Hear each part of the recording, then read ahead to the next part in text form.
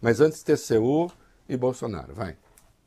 A área técnica do Tribunal de Contas da União recomendou que o tribunal, o TCU, determine ao ex-presidente Jair Bolsonaro que devolva em 15 dias todo o acervo de presentes oficiais recebidos durante um mandato presidencial e não incorporado ao patrimônio da União. Essa recomendação foi assinada na semana passada e ainda será avaliada pelo relator da representação no TCU, ministro Augusto Nardes, que pode decidir sozinho ou levar o caso a plenário. Se for acatado, o prazo de 15 dias só conta a partir dessa decisão e da notificação posterior de Bolsonaro. Os auditores analisaram o caso a partir de uma representação da deputada Luciene Cavalcante, do PSOL de São Paulo, que apontou possível irregularidade no recebimento de presentes dados pela Arábia Saudita, que somariam 3 milhões de euros, cerca de 16 milhões e 500 mil reais, segundo os dados incluídos no processo. Na avaliação do TCU, diversos dos kits de presentes recebidos por Bolsonaro e pelo governo, como presentes de países do Oriente Médio,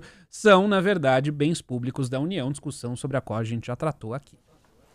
Isso, e aí tem lá a descrição: kits de joias e relógios de grife, miniatura de um cavalo ornamental, um conjunto de armas for, é, formado por um fuzil Caracal, calibre 5,56 milímetros, é um que eu tenho aqui, é, com dois carregadores.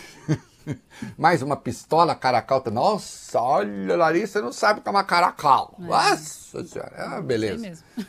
É, a defesa de Bolsonaro emitiu uma nota né, é, afirmou que o presidente jamais, que o ex-presidente jamais quis ficar com as joias, né, jamais teve qualquer ingerência no processo de classificação de presentes, né, que a própria defesa do presidente requereu que os bens ficassem acautelados no TCU e indaga, salienta ainda que os mesmos critérios sobre de, é, destinação de presentes devem ser adotados em relação a quaisquer ex-presidentes, é, inclusive o presidente Lula dizendo que o Alexandre, atendendo a parecer da PGR, determinou arquivamento de pedido de inclusão do atual presidente numa investigação em razão de um relógio que o Lula ganhou.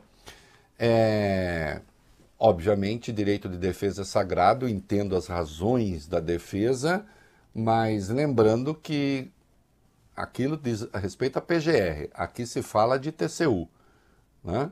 mas de qualquer modo, né? vamos ver. Né? É, lá foi a questão da PGR. A PGR, nesse particular, ainda não se manifestou.